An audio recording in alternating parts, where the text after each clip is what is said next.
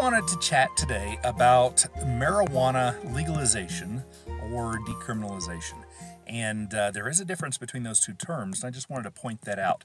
And first of all, I'm going to say that I think that all marijuana, all drugs should be completely unregulated by governments.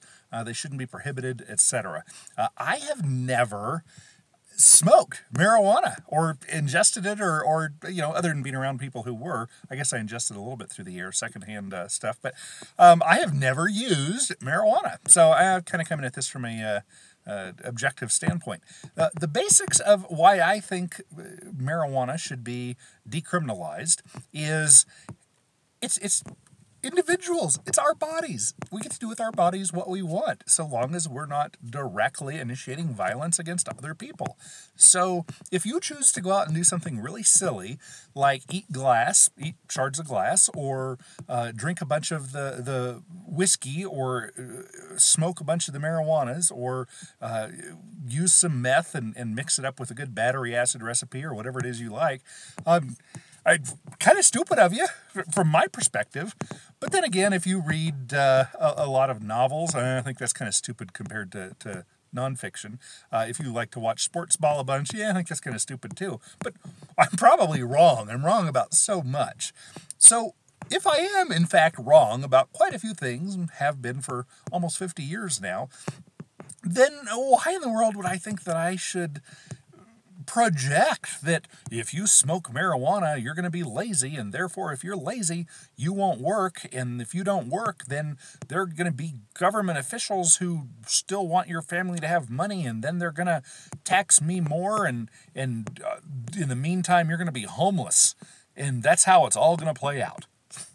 That's that's ludicrous. That is so egotistically, pompously horrific for somebody to think that they can plan out or predict what's going to happen this way or that with things social. Things social are a complex system.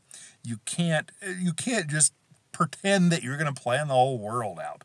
So the fact is, if you want to go out and you want to, I don't know how you smoke it, drink it, whatever you want to do with the methamphetamines, and you want to get yourselves all hopped up on those puppies, and that brings you joy in your life, and your teeth rot out, and you don't have your job anymore and and you destroy your family and, and all kinds of nasty things happen and then you say oh i'm really sick and i want to go to the hospital and i don't have any money to go to the hospital well my response to you is tough cookies.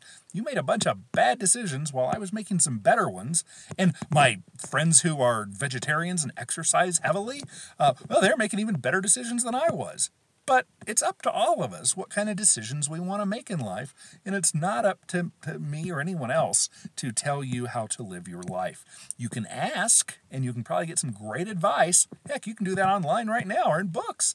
It's out there for one person to force the other to do this, no, no, no, no. That's that's that's not cool. Okay, so difference between, I, I, promised I would talk about decriminalization versus legalization. If you want to legalize something, you're essentially saying, hey, I want the government to control this thing. I want them to make it legal, and therefore, when two people want to make an interaction with each other, I want the government to step in and steal a portion of that. They'll call it taxes or tariff or whatever.